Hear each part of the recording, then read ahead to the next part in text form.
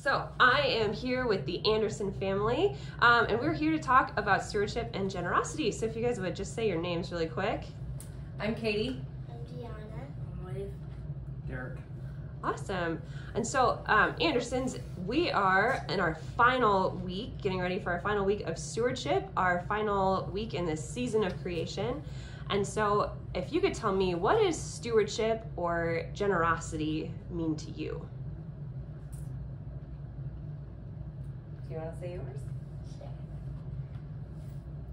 Generosity, um, for me, it means like being kind and just being generous in general. Yeah, awesome. Thank you. Uh, generosity to me is um, giving something to somebody and not expect and not expecting anything in return. Yeah, definitely. I would say I would agree with Leif. It's giving something of yourself, whether it's your time or your money, whatever it is that you feel you want to give and not expecting much of anything or anything in return for what you've given. I think many times we think about generosity as being something big, Mm, some big outward show of, you know, uh, something, you know, that just in, like bigger and, and impactful. Um, but I think sometimes we forget it could just be something very small. It could be something as, you know, as, as easy as giving a smile or, you know, saying something in a certain way or just acknowledging someone's actions or, um, you know, good work. Uh, doesn't even have to cost any money. It could just be something that's very simple to do. Yeah. And so, instead of thinking about generosity as being a, a one time thing, maybe trying to cultivate a kind of an attitude of generosity. Yeah, and I think I try to focus on just those small interactions. Hmm. Trying to maybe, you know, brighten somebody's day by just saying something that goes unspoken. Yeah. How did you learn to be generous? Oh gosh. Um I mean, I definitely think it's a lead by example situation. So looking looking at the people who have come before me, my parents, my grandparents, and just watching them and their interactions and their actions, it's really I mean, I think it's important for me as a parent to show that and so for I get I mean it's a nurtured learned behavior in my mind I guess Mhm.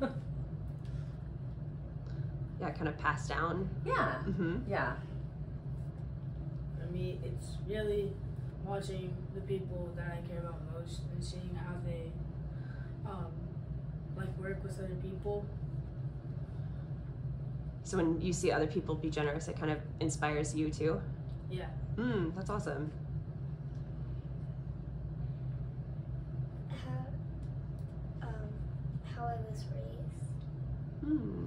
because like mom said she um was had she watched the people she grew up with to be generous and that's how I was raised Mm-hmm. to be generous and I just wanted to be generous to be kind.